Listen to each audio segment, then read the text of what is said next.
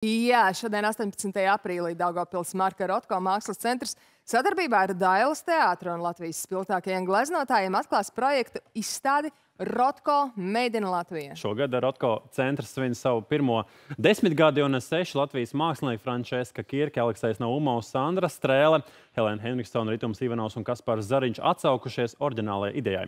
Gleznot radošās kopijas sešiem Marka Rotko oriģināli darbiem, kas būs aplūkojumi Daugavpils Marka Rotko mākslas centrā un stāsta Ilza Strenga. Labdien! Te ir Rotko pārpilnība.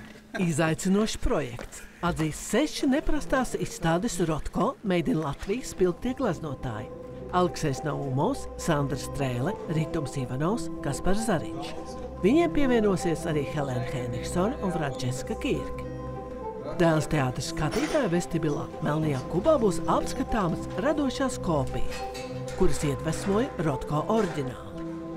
Kas būtu, ja Rotko būtu fovists? Tajā laikā droši nezinu, vai bija florisējušas krāsas. Nu, ja viņš lietot florisējušas krāsas, es paņēmu pa pamatni, protams, to visu kompozīciju, ja, kas viņam ir. Un nu, pavilku tā krāsaini pēc iespējas, cik es varēju ir atšķirība, kāda bija audekla tad, kādas krāsas bija tad. Es esmu lasījis eh, Rotko biogrāfiju. Viņš eh, gleznoja slinki, ilgi un eh, lietoja otras pigmentus, arī dažādas tehnikas. Es šajā gadījumā gleznoju tīra reļas krāsām četros piegājienos. Kāpēc? Tāpēc, ka tas rotko skaistums viņa darbos rodās tādēļ, tiek ieguldīts ilgs laiks. Iedvesma domāt par mākslas oriģināliem un to raizītajām sajūtām ir arī Dēls teātra izrāde Rotko. Iestudējuma popularitāte un izrādes tēmas iziet ārpus skatuves robežām. Tāpat kā Rotko darbu, digitālais attēls pārdop jaunās radošās kopijās.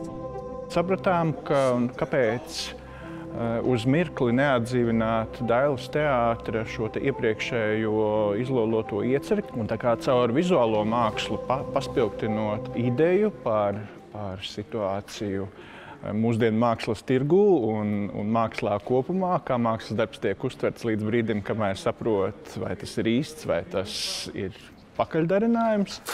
Mākslinieki ne tikai interpretē Rotko darbus, bet atklāja arī savu unikālo māksliniecisko rokrakstu. Izdomāju tieši par šīm kopijām un replikām un vispār par uh, iespaidošanos no dažādiem māksliniekiem. Viena šī glezna, kurā es veidoju kaut kādu šo savu izstāžu sēriju, kas sasaucas ar manu šī, šī brīža pēdējo tādu radošo darbību, tad man likās, jā, ka iekļaujot šo Rotko darbu, tā vēl būtu tāda papildus spēle, nu, kā, kā mēs ar Rotko varētu sarunāties šodien. Tas ir tas lauks, ko vārdos nevar ielikt. Tas ir eh, tāpēc eh, cilvēki saka, ka viens raud, viens smējās pie satiekoties ar kādu darbu, ir milzīgi pārdzīvojumi. Šis ir um, tāda mana iecerē arī pietuvināties, um, jo portrets ir tā mana stihija, kurā es gribu uh, saprast cilvēcību. Seši Rotko oriģināli no 28. aprīļa trīs gadus būs skatāmi Daugopilī.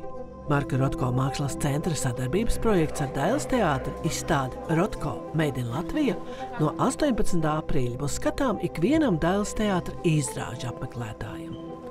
Ilza Stranga, Dzintars Spriņģis, Latvijas televīzija.